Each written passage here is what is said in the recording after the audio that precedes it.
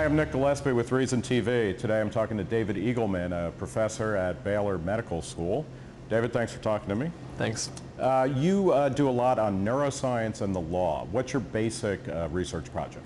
The basic idea is to understand how modern neuroscience affects the way we think about criminal behavior and new ideas for criminal punishment and rehabilitation, and even how jurors make decisions. So I'm trying to, this is where our understanding of neuroscience, this is where the rubber hits the road, where we see how that makes um, sense for society to have evidence-based policy, an evidence-based legal system.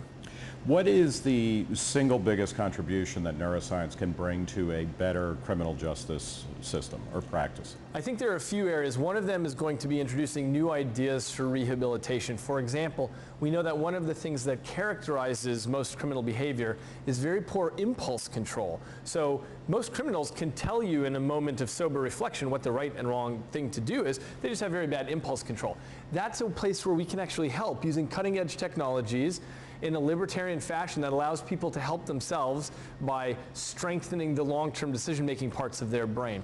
That's one example. Another example is having rational sentencing by understanding how likely someone is to reoffend and basing the length of their sentence on that. This is already in use in courtrooms with essentially statistical or actuarial tests and we're using neuroscience to try to improve those even more. We'll never have 100% correlation because life's much too complicated for that, but at least we can distinguish who's a really bad seed that we want to lock away for a long time versus people who might not be and could use a shorter prison sentence uh, you, you talk about the uh, kind of libertarian sentiment or the idea the individual can be more in control of themselves, yet at the same time, does the, does the basis of neuroscience almost completely erode or at least seriously challenge another basic political libertarian idea about autonomy or about the idea that we are actually in control of our actions or ourselves? I'm afraid it does. Uh, the understanding from neuroscience that's very clear by looking at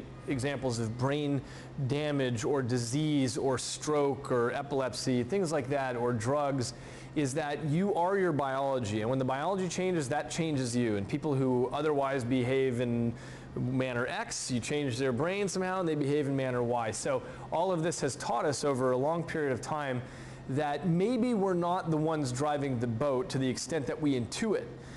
And of course, people have been debating the free will question for a very long time. I think it's very difficult to come down on one side or the other and answer whether we do or don't have free will. But what I'm pretty certain about now is that to whatever extent we have free will, it's really only a bit player in what actually happens in people's lives. So is this a reinscription of Freud was famous for saying that, you know, uh, the, uh, I guess the superego uh, kind of rides the, the id, or the ego rides the id, and it kind of directs it sort of like a horse gets uh, direct, a wild horse gets directed by a driver. I mean, is this a, a scientifically more sound or more credible, at least at this point in time, version of, of Freud.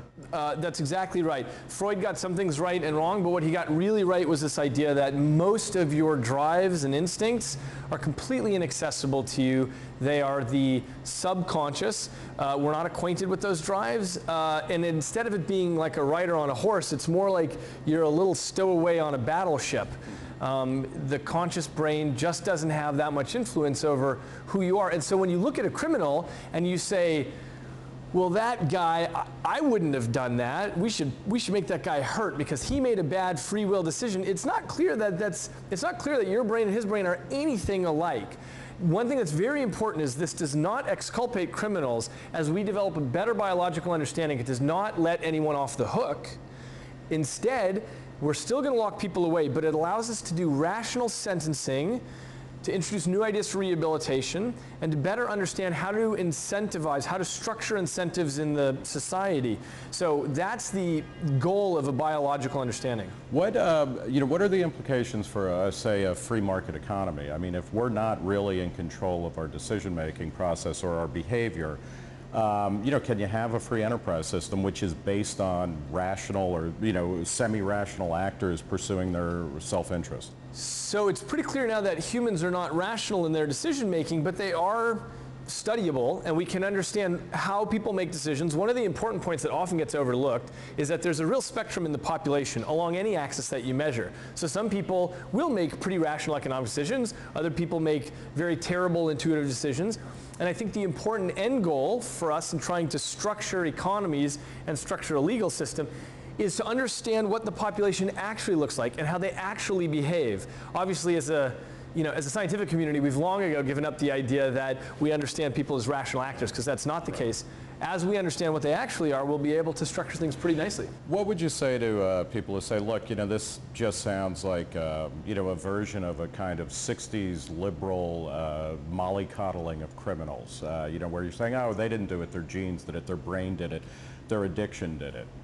Um, here's what I would say. Because we know the complexity of gene-environment interactions, there's no way that we'll ever be able to say, oh, it's their genes, or oh, it's their, we're not going to be able to identify the root of it. So my suggestion is, what we need is a completely forward-looking legal system. We need to understand the human brain better so that we can say, given the brain that's in front of the judge's bench right now, what do we do with it from here forward? Given all the data we have from the past about people who have similar brains, what do we do with it now? So it's not coddling because we're still putting people away. What we are doing is we're not using incarceration as the blunt tool that it is currently used as. So instead of throwing everybody in jail with previously mandated sentences, we're able to modify it on an individual basis, put people away for longer, shorter time. We're able to introduce new ideas for rehabilitation, which is very important. Take something like the drug war. We spent hundreds of billions of dollars attacking the supply, which has shown uh, itself to be a failure in every way.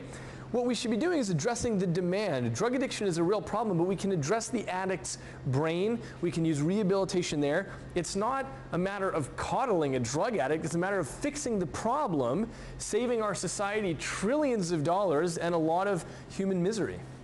You have also, uh, uh, you've published a, an incredibly well-received uh, fictional meditation on the afterlife, Sum. Can you talk a little bit about the book and where did that come from? Um, so Sum is, is, is, literary fiction and it's 40 mutually exclusive short stories and they all purport to take place in different possible afterlives. The key is that they're all mutually exclusive. Uh, the reason I wrote this book, um, it's because you know, I've devoted my life to science, but at some point the toolbox of science runs out, and beyond the edge of that is everything that we don't know. And I've always thought um, the afterlife is an interesting example where people act like they know one way or the other what's going on. They say, we die, there's no afterlife. They say there's an afterlife with clouds and angels and whatever. And the funny part is everyone's making it up and acting like they have certainty about something. So I wrote a book where it's 40 stories that are all mutually exclusive. All the stories are mischievous and funny. But what's serious about the book is the meta message, which is that it's a celebration of our ignorance. It's a way of shining a flashlight around the possibility space to say, you know, in fact, we know nothing about any of this. Do you believe in an afterlife? Oh, I have no idea. Yeah. Uh, you have no, no idea if you believe. believe one way or the other. Oh, You're yes, agnostic. I have no reason to believe in any particular afterlife or if there is one. It's always great to uh, have scientists talk about the limits of knowledge. Uh, when we talk about science and its intersection with the law, it's a pretty unsavory history, right? Uh, you know, yeah.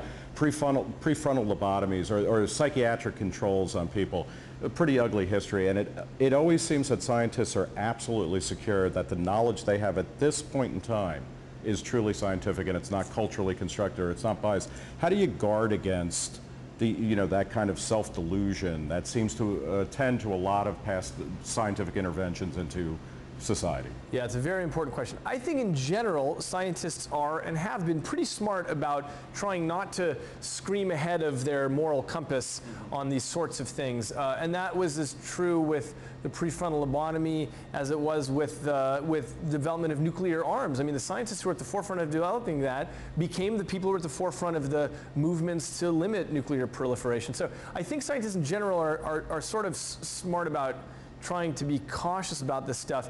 What I like about the rehabilitation methods that I'm working on right now is they've got tremendous libertarian appeal because they are only offering methods for someone to change themselves, someone to tip the balance of the battle between their long-term decision making and their uh, impulses.